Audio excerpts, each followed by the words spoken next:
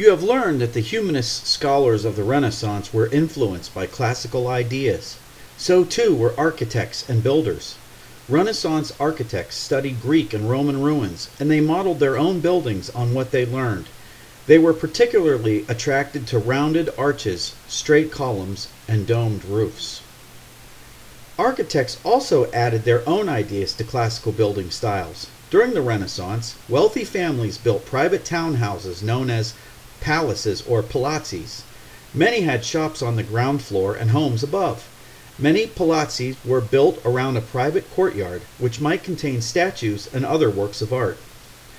Public spaces were often influenced by humanist ideas. For example, humanists valued good citizenship. Architects designed public buildings where citizens could interact in settings that were grand yet welcoming. They used Roman inspired roofed porches called loggia to join buildings and create outdoor plazas. Advances in engineering made new kinds of architecture possible. For instance, one of the most impressive architectural feats of the Renaissance was the Grand Cathedral, the Duomo di Santa Maria del Fiore. Florentines started building this eight sided cathedral in 1296, but they had to leave an opening for the dome. At the time, they didn't know how to build a large enough dome that would not collapse. It took a Renaissance architect, Filippo Brunelleschi, to solve the problem.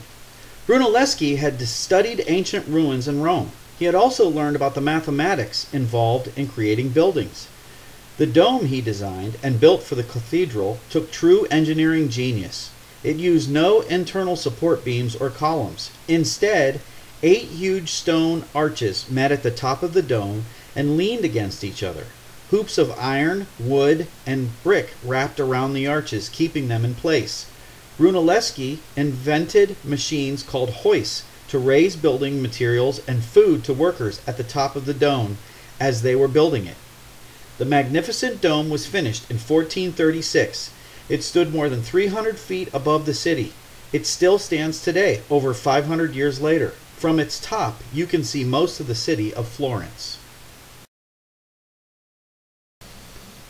Wealthy patrons made Renaissance Florence a thriving center of art. The Medici spent huge sums of money on fine palaces, paintings, and statues. The Palazzo Medici was filled with works of art that were commissioned by the family. Patrons like the Medicis created opportunities for talented painters who made a number of advances in style and technique.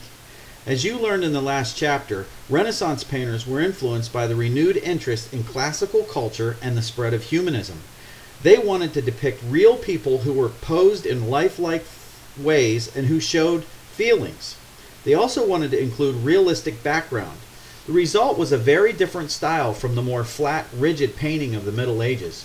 One key advance made by Renaissance painters was the discovery of perspective. Painters used perspective to create the appearance of depth on a flat surface.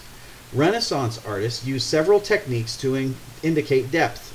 One was the size of objects. The smaller a painted object, the farther away it appears to be. The larger an object, the closer it appears to be. Painters also learned that a feeling of depth could be created by lines that came closer together as they receded into the distance.